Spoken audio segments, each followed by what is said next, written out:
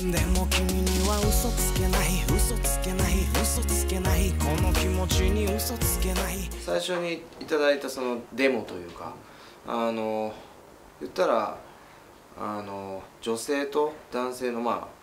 ああの言いたいけど言えなかったみたいなそういうお互いちょっと自分の本当の気持ちに嘘をついてる2人の物語みたいなところに対して多分俺の役割で言うとその男女間のその男性の直接的に会話してる2人の中で言うとその男性の口にしてないその嘘の部分っていうか内面の部分を俺が歌詞でこう世界でこう彩らせてもらうというか役割としてそういうパートをいただいたと思ってて。でそういうとこをいかにこうなんだ直接的じゃなくでもそうですね自問自答みたいなポイントでどういうふうに歌詞をこう作り上げていければいいかなっていうのがすごくあってで実際あの本人さんたちの声が入ってお二人の声入って全員の声が揃った時になんかその思い描いてた世界観っていうのがすごく形になってあやっとつながったみたいな一つになったなっていうかそのちょっと淡い感じもすごく出てたしうん。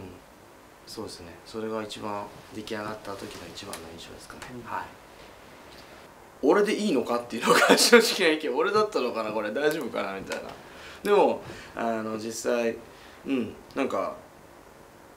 ゆえの自分を呼んでもらえたっていう部分もあんのかなっていうふうに思ったんで、まあ、自分なりにやれることをやって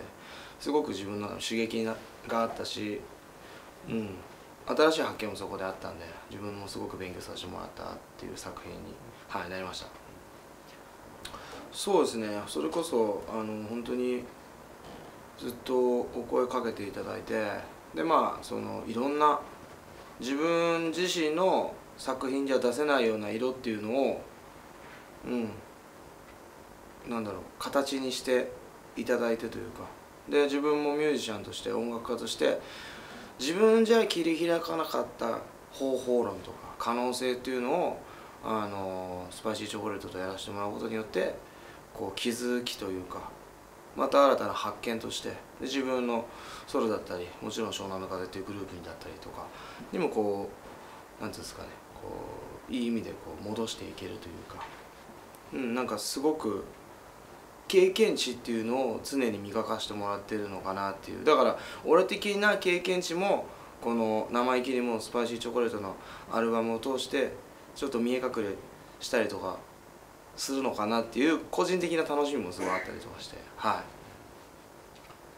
そうですね。映像もさることながらこういう衣装を着ないんで